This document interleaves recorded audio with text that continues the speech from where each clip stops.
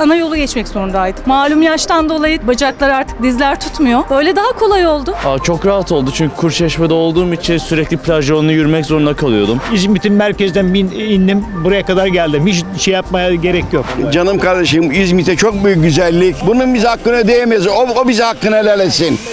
Kocaeli'de özellikle şehir içi trafiğine nefes aldıran tramvay hattı Kuruçeşme'ye kadar geldi. Bugün Kuruçeşme'de tramvayı kullanan e, vatandaşlara mikrofon uzattık. Bakalım tramvayla alakalı görüşleri neler?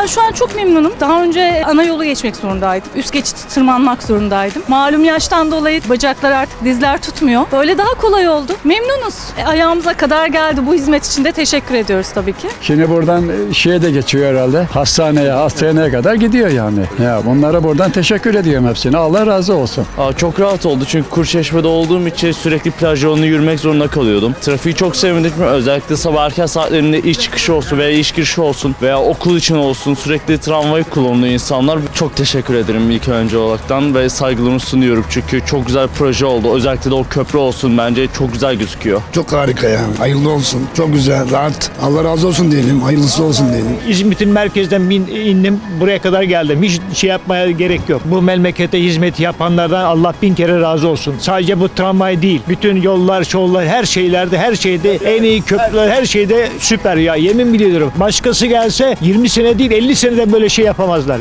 Canım kardeşim İzmit'e çok büyük güzellik. Allah başımızdaki büyüklerimizi eksik etmesin. Devletime vatanımıza adalarım Türkiye'yi cennet yaptı. Bunun bize hakkını değmez. O, o bize hakkını helal etsin. Seyahat gayet güzel geçiyor. Memnunuz yani. Emeği geçenlere teşekkür ederiz. Gayet güzel bir hizmet yani. Tramvayın buraya gelişi mükemmel bir hizmet. Bütün emeği dokunanlara, başta Tahir Başkan olmak üzere herkese çok çok teşekkür ediyorum.